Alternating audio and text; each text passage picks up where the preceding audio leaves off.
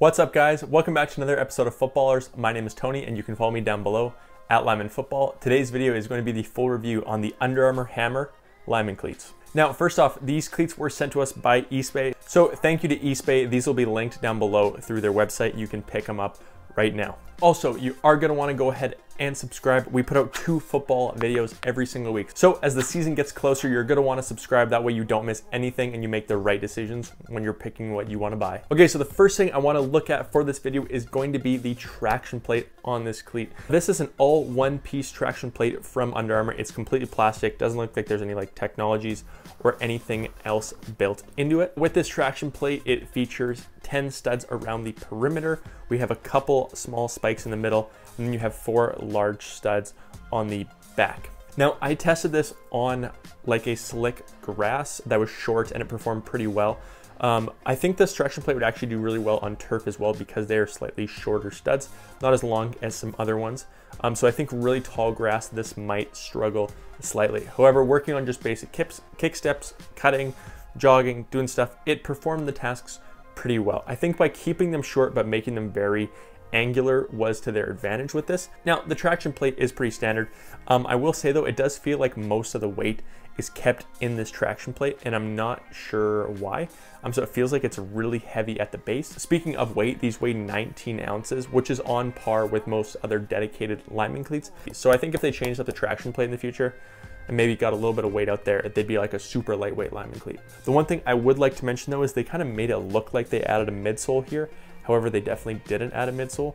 Um, so when you are running, you can, if you're just like jogging, kind of heavy, you can feel the studs through the bottom of the cleat. So if you know you're coming into that kind of situation, I think long term I'd recommend getting some kind of insole. Okay, now the next thing we're gonna talk about is gonna be the fit and comfort of these cleats. Now honestly, these are probably one of the most comfortable lineman cleats on the market right now. And the reason is because they feel like a basketball shoe, right? When you're looking at the materials on here, it literally looks like it's a basketball shoe that they strapped a traction plate on the bottom of and they added like a funky design on the front. So like they're super comfortable to wear. It doesn't feel like you're wearing a lot at all.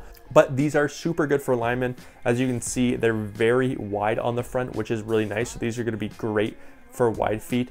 And this textured thing here on the front is really good for breathability as well. So your feet don't get hot in these by any means. So as far as overall fit and comfort and breathability goes, they are fantastic.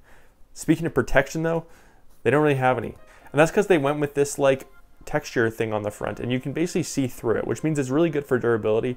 But for if someone steps on your foot, it's probably not going to be the best option to have. But having said that, it is really good. High ankle support. Your ankle feels really nice and locked in. It's very comfortable and it feels just like very airy and breathable. Now for overall styling on this cleat, the all white looks really good. The black looks pretty good as well. Um, they do have like all the other standard colors, so blue, red, green. Another good thing as well is most other lineman specific cleats like the Force Savage Elite TD2s, Force Savage Pros, Adidas Nasty, they're all in like the 140 to 150 dollar range, whereas these are only 100 bucks, so they're actually a lot cheaper, which is also really good to see. Now, as far as positions I'd recommend these for, these would just be a lineman cleat. I don't think you could wear these at any other position. You'd have to be most likely an O lineman. Um, I think at D lineman, you'd want a little bit more maneuverability than these. I'd maybe go with something else. Um, but I think as like an offensive lineman, these are actually a really good cleat. Yeah, like they're a pretty underspoken cleat, not a ton going on, but they're just a nice, standard, well-priced item that can get you into something lineman specific, which is really hard to do. There you guys go. I hope you guys enjoyed today's review on the Under Armour Hammer Lineman cleats. Again, if you want to pick them up, they'll be linked in the description down below. Now, if you are an Under Armour ride or die, make sure to hit that like button and let everyone know that that's who you roll with. Again, I hope you guys enjoyed today's video. Thanks for watching.